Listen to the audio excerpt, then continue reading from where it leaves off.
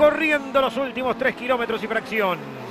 Con un auto contundente, como lo demostró en clasificación y en serie, Emanuel Moriatis, a pesar del susto inicial con la falla, se está llevando esta final aquí en La Rioja, algo que le viene muy bien para aprenderse en el torneo.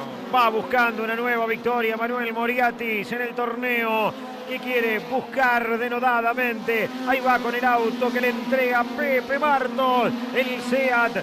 Ahí está, el auto número 4 con una falla. Dijo, estamos en el horno. En el horno va a estar en lo, la comida que lo está esperando a él, porque realmente no pasó nada.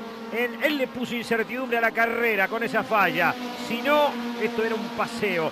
¿Cómo fue la pista? Paseo triunfal para Moriarty que gana en La Rioja, Daniel. Y busca su séptimo triunfo en la categoría. La última había sido en San Jorge, escenario del próximo evento del TN. Y ahí está Moriarty, se eleva la bandera cuadro. Soy un león corriendo en La Rioja. Aquí está, va a ganar Moriarty. Ganó. Ganó. Emanuel Moriarty, que ahí habla el equipo, festeja, él los puso a todos en el horno, ganó Moriarty de punta a punta, pole position serie y final para cosechar muy buenos puntos que lo posicionan en el campeonato. Contundente el triunfo de Manuel Moriatis.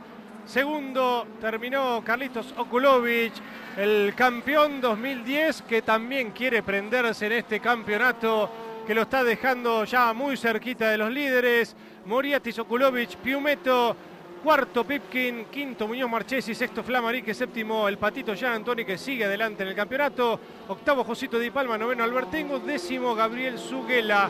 El undécimo fue Char, luego Gómez, Biel Bugliotti, Ponce, León, Munchi, Jean Antoni, Chiriano, Arduzo, Beitier y Carducci. Muy bien, en la vuelta de honor está Emanuel Moriati después de haber dado cátedra en este autódromo de La Rioja. Necesitaba la victoria el Manu y se le ha dado en el competitivo turismo nacional. Se le escapó en Río Gallego por el motor. La falla lo privó de pelear la punta con el patito Gian Antonio y la carrera de Pigüé. Y aquí no perdonó con un auto magnífico que le entregó Pepe Martos que ha recuperado el rendimiento, no solo con Moriarty, sino también vimos a Ignacio Chara en muy buena producción y Marcelo Bugliotti que él le puso el condimento que la gente vino a ver, ¿no? La chapa, pasar por donde se puede. Y Bugliotti para eso es un especialista